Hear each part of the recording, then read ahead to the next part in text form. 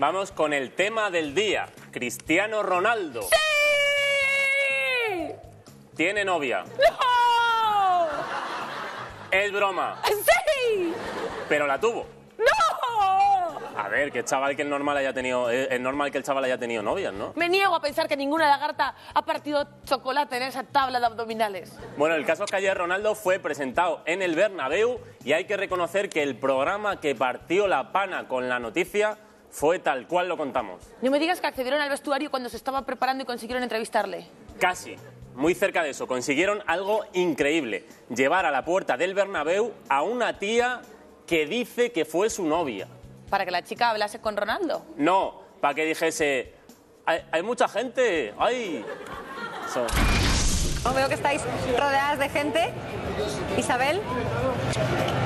Mónica, o sea, es que no te puedes ni imaginar las riadas de gente que está aquí esperando a que se abran las puertas del Santiago Bernabéu. Cuando viste a Cristiano, ¿cómo lo viste? Eh, Segundos en el coche. Bueno, segundos cerca del coche, eh, pues él iba con una cazadora roja, pero tampoco fueron unos segundos nada más. ¿Sabes qué venía, quién venía en el avión con él? ¿Has visto a su madre? Mira, lo que yo sé por informaciones secundarias sobre de su entorno es que la madre no ha venido esta vez.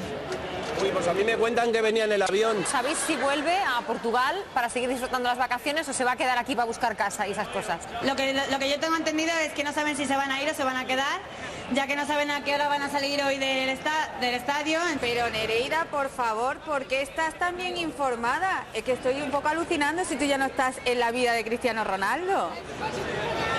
Ya, pero cuando una quiere, de algo se informa también. Yo no sé qué se siente al saber que puede llegar a haber hasta 80.000 personas que están esperando ver a una persona con la que tú has mantenido una relación durante ocho meses. ¿Qué sientes?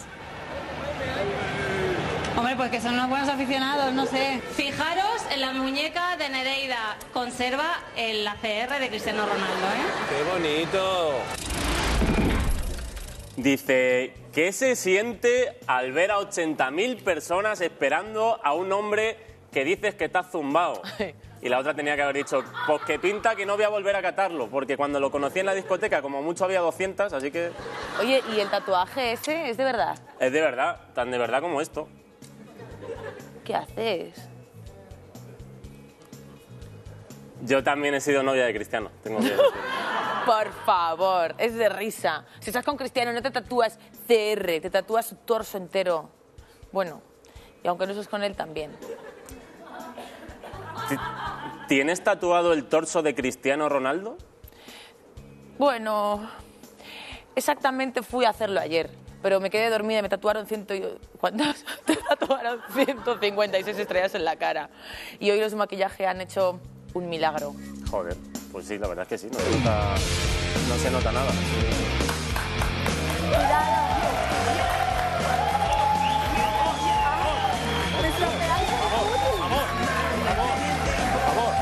Venga, ahí. Hola, gente normal. Y con gente normal quiero decir, no, estrellas. ¿Y hasta qué le pasa ahora?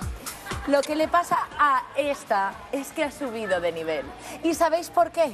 Porque la persona por la que toda España suspira fue ayer súper educado y galante conmigo. Falete. No. Ha dicho la persona por la que toda España suspira, no la persona que más suspira de España, es distinto. Ah. ¿Y entonces quién? Pues míralo tú misma, bonita. ¡Cristiano! ¡Es para ti! ¡Es para ti! ¡Esto para ti! Bueno, vemos que Cristiano no se acerca. ¡Es para ti! Besito, ¿no? ¡Gracias! ¡Uh! Momentazo, Cristiano Ronaldo. ¡Eh! ¡Eh!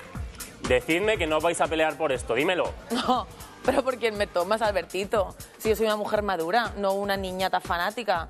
¡Maldita zorra! ¿Qué hacías con el amor de mi vida?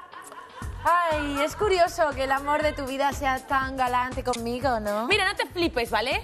Te coges el abanico por pena, como cuando coges propaganda por la calle, que la coges por pena y cuando das dos pasos la tiras. Ya, sí. Pues no sé por qué me da que Cristiano no lo tiró. Vamos a comprobarlo. A ver. Mira, esta esta foto ha salido en el marca. Y casualmente, ¿qué tiene Cristiano en la mano? ¡Oh, sí, es mi abanico! Esta, a ver si cambiamos ya de foto, esta en el mundo deportivo. ¿Y qué tiene en la mano? ¡Mi abanico! Y tenemos más, y esta es la razón. ¿Y qué tiene Cristiano en la mano? ¡Anda, qué sorpresa! Pero si es mi abanico. ¿Qué, Patricia? ¿Tienes algo que decir? Albertito, Albertito, haz un favor. En mi camerino hay un mueble con cajones, ni se te ocurra abrirlos, pero encima del mueble hay una Magnum calibre 9 milímetros. Tráemela sin que te vea nadie, ¿vale? Pues te tapones los oídos. Te estoy oyendo, Patricia. ¿Qué pasa? ¿Que también tienes poderes o qué? Se te ha subido un poquito a la cabeza, ¿no? Solo han salido tres fotos. ¡Tres fotos! ¡Eso no es nada! Ay, solo tres fotos. Mierda. Y yo que pensaba que también había tenido repercusión en varias televisiones. Con esa bomba inteligente, ¿no? Que recuerda aquella de Roberto Carlos, una especie de folla seca, con los goles imposibles, ¿no? Que, que podrá marcar para ahora el Real Madrid. Ahí estaban, por cierto, nuestros compañeros de tiene- que hicisteis, que seguro que mañana nos van a sacar Sí. alguna sorpresita a la hora de comer, ¿eh? ha llevado la reportera, ¿eh? de lo que hicisteis. impresa ya para el resto. Tal vez el precedente más claro en cuanto a, al impacto mediático fue el de Beckham, pero este es un futbolista deportivamente muy superior a David Beckham. Eh, decía que le ha- se le ha lanzado Florentino Pérez en el discurso, ¿eh? ¿Quién es? Yo ¿A creo quién- que es de, a quién besará ahí? de, alguna, de alguna tele ¿no? Portuguesa. Una compañera de la Sí. sexta, me parece, sé lo que hicisteis. Eso es lo que hiciste. Eh, ah, sí, que- la, las nuevas que han fichado los sé lo que hicisteis, sí. Sí, Pues eh, ir de vacaciones en la Patri. di- digo que. qué bien que colocada es- está la sexta ahí, Pues ¿no? ya ves, le ha, le ha plantado dos besos ahí, Cristiano. Ay, qué bien se siente una cuando ve que va hacia arriba. Estoy en todos los canales. Hombre, la sexta, Telemadrid y Veo 7. Tampoco que seas el discurso del rey. Cris, Cris, vamos, por favor, que los periodistas te quieren hacer más preguntas, por favor. Hay otra rueda de prensa, pero qué pesado. ¿Cómo has dicho? ¿También haces ruedas de prensa? Hombre, claro. Aún no te has enterado de que estás hablando con una estrella. En fin, que luego vuelvo con mi reportaje completo. Ahora os dejo con mi rueda de prensa. Ahora va, ahora va. Uy, flashes no, que me estropean el cutis. Gracias. Antes de nada, quería decir que el que me haya besado Cristiano Ronaldo no me ha cambiado. Sigo siendo la misma de siempre. Pero, ¿qué es esto? ¿Qué mierda es esta? Este vino no está a 16 grados. Esto es basura, ¿me oyes basura? Espera, no te preocupes, yo lo arreglo yo. ¡No! Eh, bueno, pueden comenzar con el turno de preguntas, por favor. Cristina, la primera pregunta es obligada. ¿Por qué lleva vendada la cara? ¿Le pegó alguna fan envidiosa? No, es para mantener intacto el lugar donde me besó Cristiano.